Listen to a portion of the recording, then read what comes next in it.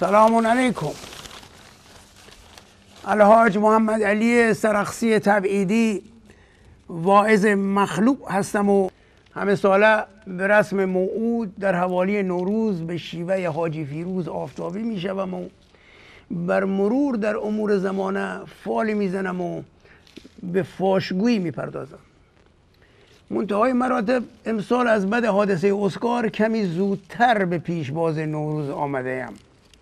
بد حادثه البته برای ما یعنی برای همه ضربت خوردگان آل عبا وگرنه خود آل عبا و عمل اکره هنرمند و غیر هنرمندشان که به قوه الهی و به ضرب پولشویی و دلارهای نفتی در همه جشنوارهای فرهنگی و غیر فرهنگی برایشان سفره گسترده پهن کرده و می‌کنند.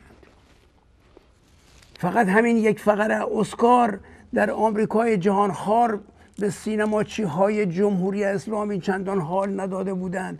آن هم بعد از آن که خانم آنت بنینگ چارقد بر سر انداخت و همراه چند همکار تودهی به زیارت ام اسلامی مشرف شد وزارت ارشاد اسلامی در کنار شیکاگو، نیویورک و سان فرانسیسکو در ناف هالیوود هم صاحب غرفه گردید و اولین اسکارش را هم دادن به حاج محمود احمدی نژاد. البته به وسیله اسقر آقا از من نشنیده بگیرینا بنده از معاون سینمایی وقت وزارت ارشاد اسلامی یعنی آقای شمقدری دارم نقل قول می‌کنم.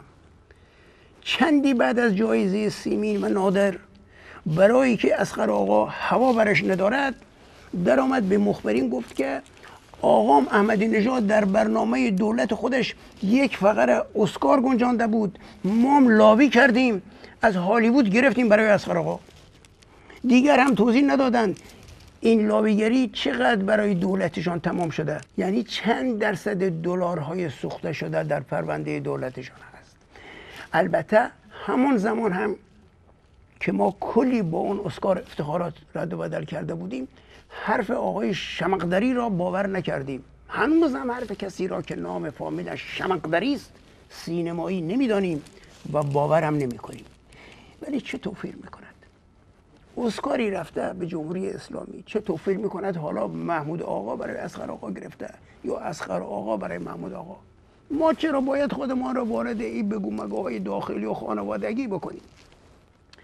به قول آقای فیروز نادری دانشمند فضایی از دور که به زمین نگاه بکنی یعنی از کره ما این چیزا که هیچ کل مملکت ها هم دیده نمیشه. واقعا چه فرقی می‌کنه؟ تازه از خیلی نزدیک هم نگاه کنی از فاصله یک متری هم نگاه کنی فرق چندانی میان محمود آقا و اسقر آقا نمی‌بینی. نامه احمدی نژاد به پرزیدنت ترامپ ها بذارین کنار بیانیه آقای فرهادی که خانم انوشه خواندن در شب اسکار. خیلی نکات مشترک دارن انگار از یک قلمند هر دو پر از چیزن پر از انسانیت. Full of humanity. به عینه انگار احمدی نژاد اسقر فرهادی سیاست اسقر فرهادی احمدی نژاد سینماست. تازه احمدی نژاد بنده خدا خیلی خیلی بیشتر پیچیده به پروپای ترامپ. بخوانی نامشا کلی پند و اندرز بهشش داده. Full of humanity. من اگه در فیسبوک یا یوتیوب نمی‌گفتن اینا احمدی نژاد نوشته باور نمی‌کردم. فکر می‌کردم یکی از نامه های خدا بیامرز مادر ترزاست که نوشته به حاکم هند تا کمتر مسلمان بکشه یا به رهبر پاکستان تا از هندوکشی دست برداره. کپی برداری از نامه به مالک اشتره که بر هر حاکمی می‌توان نوشت. بخوان این نامشا تنها ایرادی که بهش میشه گرفت فقط امضای نامه. احمدی نژاد. وقتی نامه را تمام می‌کنی در دل می‌گویی ای کاش این خودش چیز نبود احمدی نژاد نبود. بیانیه از هم که خانم انوشه خواندن عینا به همین خوبیه؟ full of humanity full فقط حیف که یادش میره بنده خدا خودش داره کجا زندگی می‌کنه. چنان مثلا که بار فاشیستا می‌کنه که انگار در زوریخ زایده شده و در ژنو بار آمده. حالا خیلی از این خارجی ها که عالیشان نیست. چپی ها و توده هاشان هم که هر جا انقلاب رو انداختن تو زرد از آب در آمده. هر جوری هست می‌خوان انقلاب اسلامی را نگه دارن.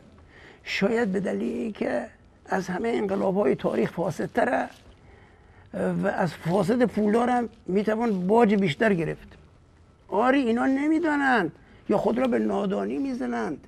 ولی ما که می‌دانیم تو مال کجایی همشهری. وقتی مردم مملکت خودت از ابتدایی ترین حقوق آدمی زاد محرومند این افاده های ناسیونالیستی دیگر برای چیست؟ شعارهای ناسیونالیستی را اگر ترامپ بگوید بد است اما شما و احمدی نژاد بگویید خوب است. دوست تاریخدانی دارم من آشنا به امور سینمایی. معتقد است در تاریخ 89 ساله اسکار چنین setup سیاسی احمقانه تا کنون رخ نداده است. روزنامه لس آنجلس تایمز همون صبح روز اسکار را نشانم داد با تصویر خانم علی دوستی که زیرش نوشته است این فیلم انتخاب سیاسی امشب در مراسم اسکار است. سال هاست اسکار کوشیده جهانیان را متقاعد کنه که تا آخرین لحظات کسی نمی‌داند برنده اصلی در رده های مختلف سینمایی کیست. اما در رابطه با فیلم های زبان های بیگانه سوای لس آنجلس تایمز تنها کسی که نمی‌دانست ظاهرا مرحوم خواجه حافظ شیراز خودمان بود. نام نامه از پیش ترجمه شده کارگردان که در قاره دیگر قهر کرده از اونجا به سر می‌برد در جیب آقای نادری یا کیف خانم انصاری است تا از رویش بخوانند افتخار دارم برای دومین بار این جایزه را می‌گیرم. چهار فیلم جایزه نگرفته ممالک دیگر هم ضمن تشکر از مجریان برنامه بابت جایزه نگرفتن همدردی کردند با همدردی برنده اصلی که برای توافق و امضای چنین بیانیه‌ای بین افراد زینف در ممالک مختلف هفته ها بگو مگو لازم است. ولی به دوست صاحب نظر گفتم در عوض مقامات وزارت ارشاد اسلامی این بار نمی‌توانند ادعا کنند برای گرفتن جایزه به دستور احمدی نژاد لاوی شده است. چرا؟ چون احمدی نژاد رئیس دولت این بار نیست. گفت درست است. بار اول جایزه برای اسقر آقا گرفته شده بود این بار به او داده شده است. این دوتا توفیر دارد البته. به طوری که به طوری که حتی اگر نمی‌خواست به پاس همدردی بیشتر با هفت کشور تروریست پرور جایزه اسکار را نگیرد اسکار را به زور به او می‌دادند. یا میگذاشتند توی جیبش تا بیانیه‌ای که برایش به انگلیسی نوشته شده خوانده شود. به عبارت دیگر خواسته اند به ضرب اسکار از فیلم دستفروش دستاویزی بسازند. برای حمله به سیاست مهاجر ستیز آقای ترامپ. دوست سینما شناس من ضمنا از دستور عملی که از آقا به فیلمسازان دیگر می‌دهد که دوربین فیلمبرداری را سوی چه موضوعاتی بچرخانند خیلی براشفته بود. براشفته بود از اینکه چرا خود ایشان در خونبارترین دوران تاریخ سرزمینشان دوربینش جز دعواهای زن شوهری به هیچ سویی نمیچرخد. و سقوط جامعه به اسفل و سافلین فساد و تباهی را نادیده می‌گیرد و فیلم های می‌سازد که در دوره شاه مرحوم هم می‌شد ساخت. با آن همه بنده عقیده دارم برخلاف این دوست سینما شناسم. اگر ایشان مثل دفعه پیش جایزه اش را می‌گرفت و به رقابت با آقای احمدی نژاد در صدد اصلاح حکومت آمریکا بر نمی آمد ما مردم که سخت به بحانه هایی برای افتخار کردن نیاز داریم مثل بار نخست افتخارمان را می کردیم غلابی بودن جایزه دوم هم به این آشکاری برملا نمی‌شد و از همه مهمتر خانم انوشه انصاری و آقای فیروز نادری هم بازیچه این ستاپ سیاسی نمی. ما خارج کشوری ها برخلاف هموطنان داخل کشور که این همه فیلم ساز برای کسب افتخارات داشته و دارند. معدودی آدم سرشناس داریم که می شود بهشان پوز داد. حق نیست که دو تاشان را به این راحتی مفت و مسلم از چنگ بار ما در می آورد خانم انوشه و آقای نادری شاید از روی ارق ملی یا هم فکری با لیبرال های آمریکایی وارد این گود سیاسی شدند. اما به نظر بسیاری از ایرانیان بازنده اصلی در شب اسکار همین دو نفرند بنده خدا. واقعا جا نداشت از بغض معاویه ترامپ زیر بیرق علی خامنه ای رفتن. جا نداشت. آقای نادری در پاسخ مخبر لس آنجلس تایمز روز بعد از اسکار گفته است من به خانم انصاری برای این پیشنهاد اصغر فرهادی را پذیرفتیم که هم خانم انصاری فضانورد است و هم تخصص فضایی من دارم. و با ایشان موافقیم که اگر از کره ماه از فاصله دور در فضا به کره زمین نگاه بکنیم دیگر مرزها را میان ممالک نمی‌بینی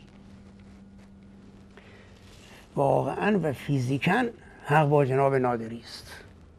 حرف بسیار درست و زیبایی است اما روی کاغذ. از فاصله دور در فضا تفاوتی بین جنایتکار و قربانیانشان هم نمی‌بینی. بین ظالم و مظلوم هم نمی‌بینی. اما در عمل تا روزی که ما مسافر فضایی نشده ایم به هر حال گرفتار چارچوب همین زمینیم. زمینی که درست یا غلط بنا به مرزهای جغرافیایی هم تفکیک شده اند و از همین مرزهاست که جمهوری اسلامی فقط در دهه اول برقراریش و تأسیسش برای بیش از 400 عملیات تروریستی و کشتن مخالفان آدم کش مسلمان فرستاده بوده است. هم ایرانی و هم غیر ایرانی. با پاسپورت هایی چه بسا از همین هفت کشور مورد همدردی از آقا و تعدادیشان هم به عنوان همراه با هنرمندان و عمل اکره فرهنگی. حیف. حیف از خانم انصاری حیف از آقای نادری. حیف از افراد صاحب نامی که مایه افتخار ما هستند و به انواع هیل تومه فرستاده های ولایت فقیه می‌شوند. همینطور که پیش برویم بیم آن می‌رود. دیگر کسی در خارج کشور برای ما باقی نماند تا خبر مرگ آن کمی چوسی بیاییم گاهی. ببخشید. بالاخره بند را آب دادم. استغفر